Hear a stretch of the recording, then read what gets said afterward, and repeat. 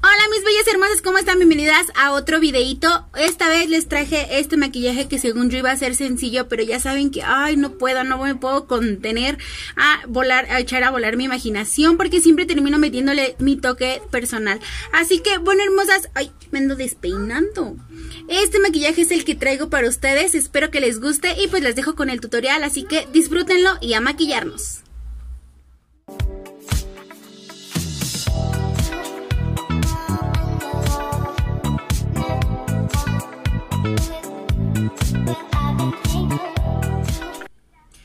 Chicas, antes de comenzar voy a hidratar un poquito mi cara para que después aplique la base. Y voy a estar utilizando mi Farsali, este es para eh, la piel eh, seca. En cuestión a que ahorita por ejemplo por la temporada luego se me seca mucho. Entonces voy a estar utilizando unas mínimas gotitas simplemente para poder hidratar y ya después aplicar mi base. Y pues por el momento que haga un efecto de una piel hidratada, súper bonita. Recuerden que estos pasos son súper importantes para mantener y crear un maquillaje súper bonito o una terminación súper bonita porque queremos que se nos vea el maquillaje bonito, lisito y que no se nos vea así como que todo seco.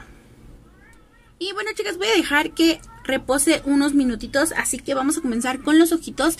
Este maquillaje es para mis chicas que les gustan los maquillajes súper sencillos, pero que luzcan algo súper bonito. Y pues bueno, vamos a comenzar. Ya saben que yo siempre eh, preparo mi párpado con un corrector blanco. En este caso lo voy a aplicar sobre todo mi párpado en cuestión. Ahorita no es blanco este, perdón. No es blanco, es un tono como carnita, pero me va a ayudar a que em, mis sombras sean más intensas y sobre todo pues a que me duren un poquito más. Recuerden que yo al aplicar el corrector yo no yo ya yo posteriormente comienzo a difuminarlo con una brochita para quitar exceso y sobre ese mismo empiezo a aplicar mi polvo o mis sombras porque muchas lo que hacen es sellar y después trabajan con las sombras pero a mí en lo personal no me gusta ya que así he visto que como que pigmentan un poquito más. Recuerden que a mí me gusta adherir el corrector con una brochita suelta porque de esa manera quito exceso al mismo tiempo y difumino más rápido. Eh, la parte de aquí del corrector recuerdenlo llevar siempre hasta la parte del lagrimal y pasándonos hacia la nariz para que al momento de que apliquemos nuestra base no se vea la diferencia entre un producto y el otro. Y bueno, mis chicas, voy a estar utilizando una paleta súper, súper económica y va a ser esta que ven por aquí. Trae colores súper bonitos, súper básicos. Y voy a estar aplicando este tono café formando el arco de mi párpado para poder crear un cut crease más adelante.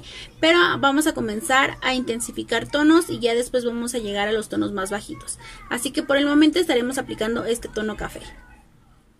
Recuerden que el color se va a depositar por encima de nuestro párpado con la mirada abierta. Vamos a marcar lo que es la parte de la cuenca y va a ser por encima de nuestro corte. De esa manera vamos a crear como un ojo más abierto o más amplio. Así que yo les recomiendo este tipo de maquillaje. Es perfecto para las chicas que tienen párpado caído o que incluso no tienen nada de párpado. Este maquillaje o esta técnica es especialmente para ellas.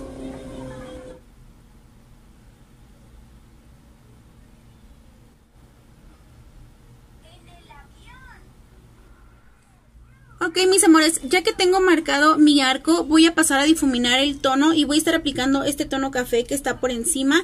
Es un tono café más bajito, así que recuerden que las tonalidades, pues ustedes mismos van jugando con ellas.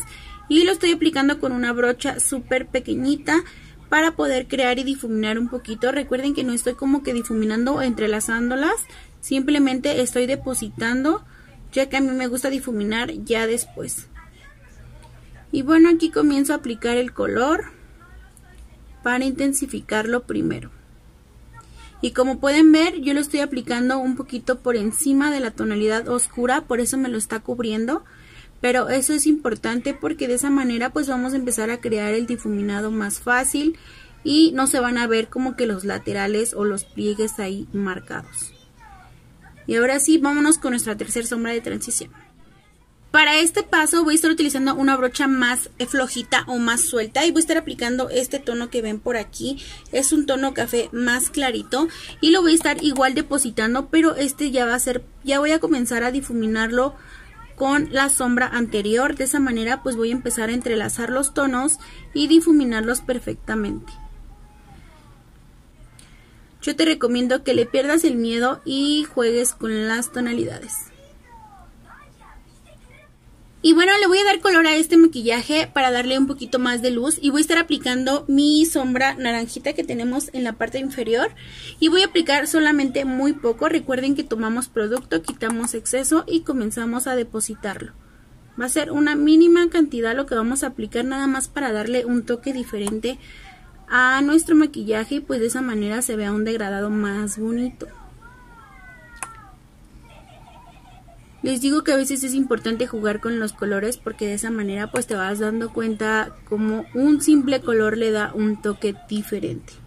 Entonces ya le metí el naranja, ahora le voy a dar un poquito más de color y voy a estar aplicando el tono amarillito o mostaza que se ve de este lado. Y de esa manera voy a aplicar un poquito nada más de este color. Ok, mis niñas, ahora lo que voy a aplicar es el tono amarillito de la misma manera. Simplemente para darle un toque diferente. Como pueden ver, miren, con poquito que apliqué como que le di un toque diferente. Así que esta tonalidad la vamos a ir aplicando poco a poquito y bien suave porque no quiero que quede demasiado marcado, ¿ok? Y bueno chicas, voy a crear mi corte fuera de cámara y voy a estar aplicando mi corrector, el mismo que aplicamos al inicio para preparar el párpado. Así que se lo hago fuera de cámaras porque la verdad es que sí es un poquito tardado y no quiero que se alarguen mis videos que de por sí están larguísimos. Entonces ya corto mi párpado y regreso con ustedes. Chicas, es importante que el corte también lo hagan por encima de la rayita, así que es importante también que la tonalidad muy profunda la mandemos un poquito más arriba, casi pegada a la ceja, para que cuando creemos el corte también nos quede por encima del pliegue, así como se logra ver con mi ojo abierto, aquí se alcanza a distinguir el pliegue, entonces es importante porque como vamos a hacer este delineado lo que queremos es que se distinga. Si ustedes hacen el corte más abajo lo que va a hacer es que cuando ustedes abren el ojo pues se va a tapar y no es el chiste. Y bueno mis hermosos, ya que tengo todo el corrector en mi párpado voy a pasar a sellarlo con esta sombra natural que vemos aquí en la esquinita. Es un tono igualito, igualito al, eh, corrector que aplicamos, así que lo vamos a aplicar a toquecitos, pero vamos a quitar los pliegues que se nos marcan cuando abrimos nuestro ojito y lo voy a barrer perfectamente.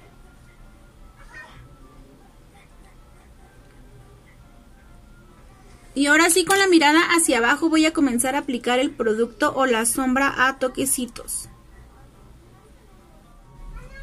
No se preocupen en perfeccionar tanto el, el, corte con el corrector o que la parte de arriba nos quede súper derechita porque cuando vamos a delinear pues no es importante, no se ve tanto pero en tu caso, si no quieres delinear en la parte de arriba, pues sí tendrías que tener un excelente pulso para que quede bien marcado ese corte y que quede súper, súper derechito.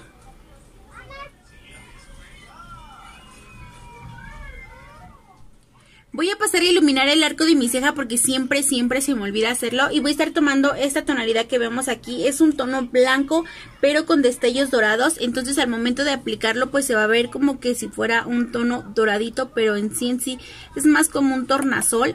Entonces lo voy a aplicar muy, muy pegadito al arco de mi, de mi ceja para poder crear esa iluminación.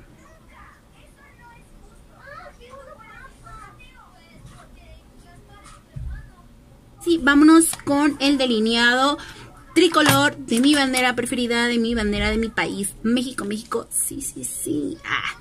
Pero sí, vamos a pasar a delinear y voy a estar utilizando estas Body Face de XJ, así que igual en cajita de información les voy a estar dejando el link directo a las páginas para que los consigan, ya que la verdad sirven demasiado para poder crear unos delineados padres con una pigmentación súper, súper estupenda. Y pues bueno, voy a estar utilizando los tres colores favoritos y en el orden que pueden ver en este ojito. Entonces esto se lo voy a hacer en cámara rapidita para que lo vayan viendo y pues no nos...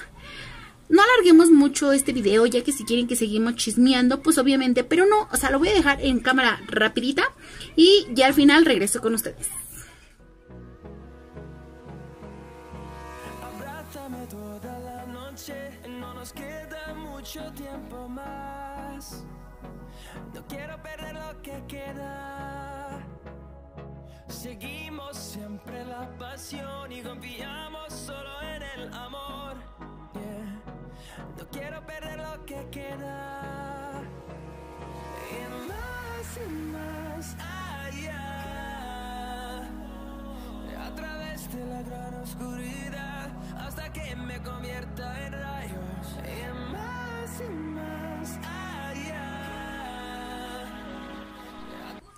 Chicas, ya tengo el delineado y entre más delgadito, más fino se va a ver más bonito. Entonces ahora lo que voy a hacer es crear un delineado normal, básico, ya sea que ustedes lo hagan más delgadito o lo hagan más grande, más largo. Ese ya es a gusto de cada quien. Así que por el momento voy a estar utilizando este de Ghibli simplemente para poder crear el arco de mi, de mi delineado. Porque voy a rellenar con este de eh, gatito en forma de gatito, igual de la marca Ghibli. Entonces eso igual lo voy a hacer en cámara rapidito y ya regreso con ustedes.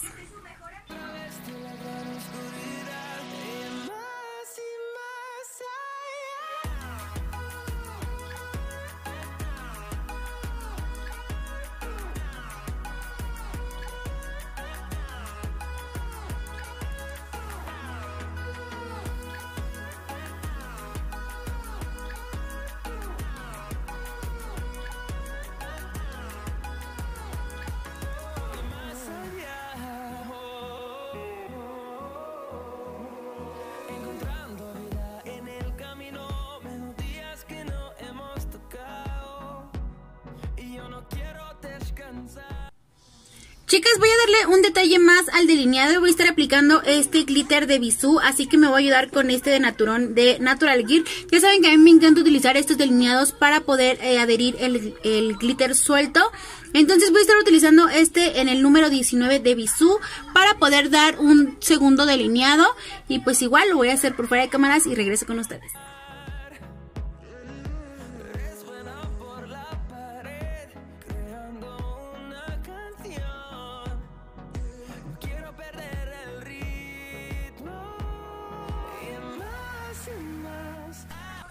Bueno, chiquillas, como pestañas voy a estar utilizando estas de Mi de la marca Rishi. Son unas pestañitas de Mimi. Y la verdad es que están súper bonitas. Voy a estar utilizando este en el número 12. Son pestañas 3D súper bonitas. Así que pues la voy a aplicar y le va a dar un cambio diferente a este maquillaje. Recuerden que la pestaña también depende mucho en los maquillajes que vamos a hacer. Chicas, ya regresé con mi rostro hecho, así que ahora lo que voy a hacer en la parte inferior va a ser aplicar tantito lápiz negro y lo voy a hacer cuidadosamente porque traigo mis lentes de contacto, entonces luego me pica.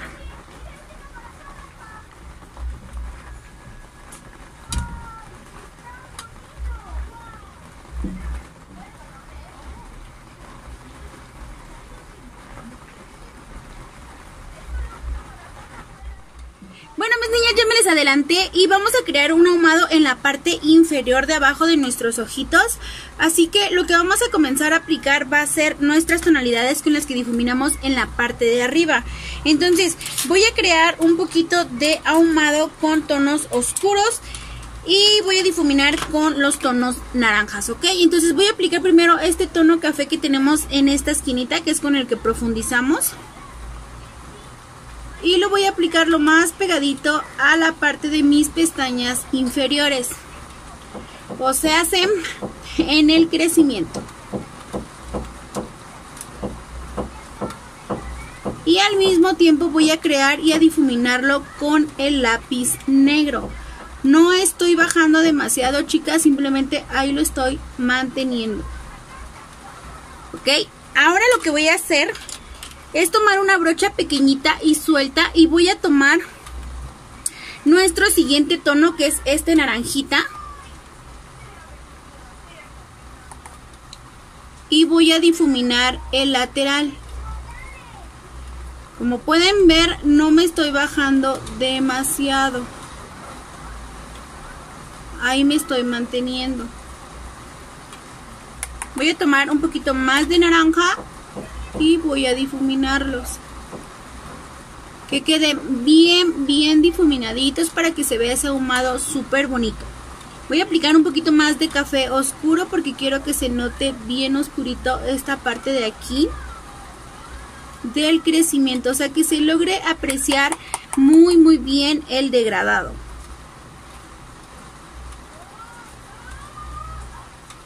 Ok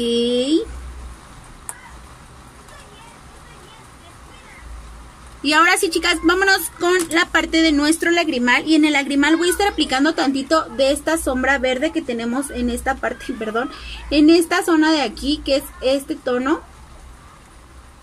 Y voy a aplicar muy poco producto nada más en la parte del lagrimal. Como pueden ver, no estoy aplicando base blanca para que se vea más verde. Simplemente quiero crear esa basecita para poder aplicar el glitter que tenemos en esta esquinita.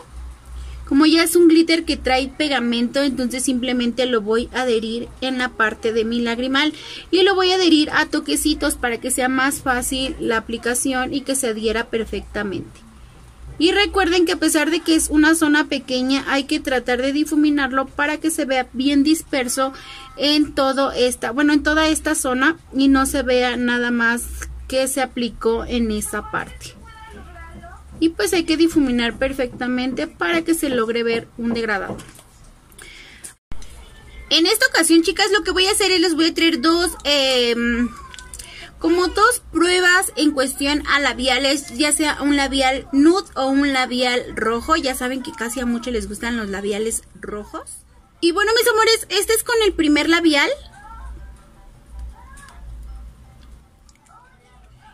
Bellas, encima de este labial voy a estar aplicando este que es de Hollywood Cosmetics. Es el número 40 que es Capricornio. Es un tono rojitas, rojita, rojita, rojita súper bonito.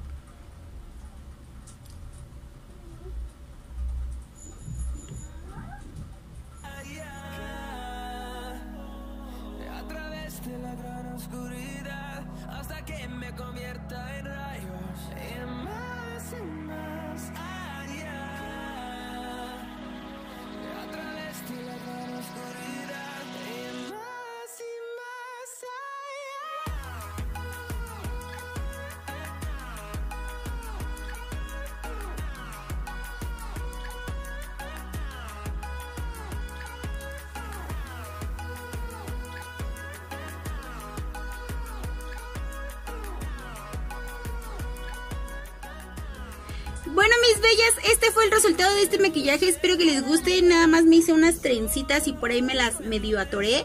Y la verdad es que amo, amo este tipo de aretes que casi no me pongo. Pero la verdad es que me gusta más para estas fechas porque lucen demasiado. Y pues bueno, hermosas, espero que esta propuesta de maquillaje les haya gustado. Y recuerden que aquí estaremos teniendo un poquito más de maquillaje. Ya nada más nos quedan poquitos días. Así que ya próximamente ahora sí les voy a traer maquillajes súper sencillos. Así que ahora sí, chicas, déjenme saber si les gustó este maquillaje. Y nos vemos en un próximo video. Bye.